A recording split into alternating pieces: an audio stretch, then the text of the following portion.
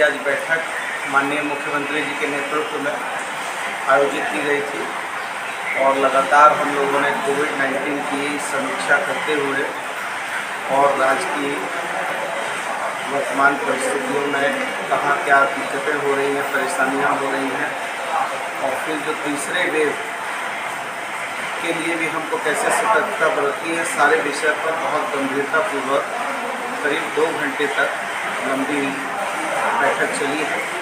उस बैठक के उपरांत कुछ मुख्य बिंदु मैं आपको बता दे रहा हूँ। बाद बाकी आपको संपूर्ण जानकारी विभाग के सचिव के द्वारा आपको उपलब्ध करा दी जाएगी।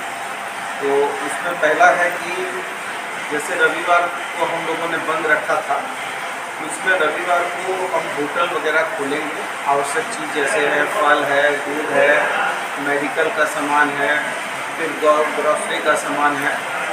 10 बजे रात तक होटल वगैरह खोलने का हम लोगों ने ये किया। है दूसरा है कि जितने सरकारी कार्यालय हैं या निजी कार्यालय हैं, वो सौ प्रतिशत उपस्थित रहेंगे।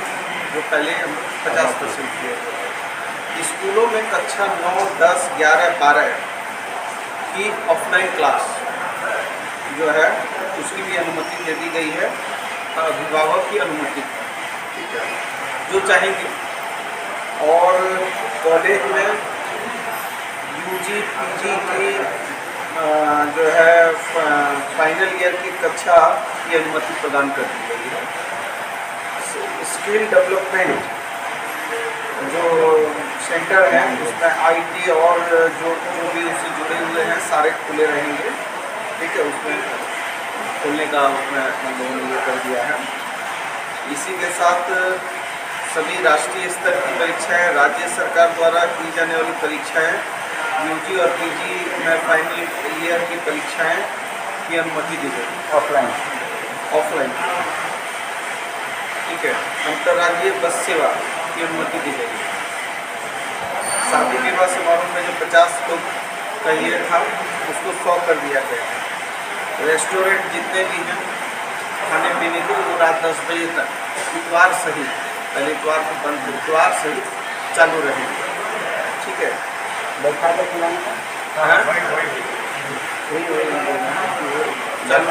के और 18 वर्ष से ऊपर के छात्रों के लिए जितना कोचिंग सेंटर है वो सारे कोचिंग सेंटर को खोलने का हम लोगों ने निर्णय किया है। लेकिन उसमें जो है टीकाकरण करना की करना की अनिवार्यता होगी। और हम लोग निवेदन करेंगे स्कूल वगैरह हैं, जिसमें एसी वगैरह की क्लास है, वो एसी वगैरह की क्लास नहीं हो और बच्चों को दूर बैठा कर उनका जो है ये किया जाए और सुबह बारह बजे तक ही स्कूल वगैरह रहेंगे। जैसे कि बारह बजे के बाद स्कूल को बंद करते हैं सुबह सुबह यदि आठ बजे खोलें छः बजे खोलें, सात बजे खोलें, उनकी मर्ज़ी है, लेकिन बारह बजे तक। और जो स्कूल में जो सभाएँ होती हैं, प्रार्थना सभाएँ, उन पर रोक रहेगी इसी के साथ में जो भी स्कूल में जो जुलूस, प्रदर्शन वगैरह, ये सारे पर रोक रहेगा धार्मिक संस्थान जितने थे, वो अभी तत्काल तक यथावत रहेंगे इस तरह से और पूरे संपूर्ण निर्णय को आपको विभाग के सचिव के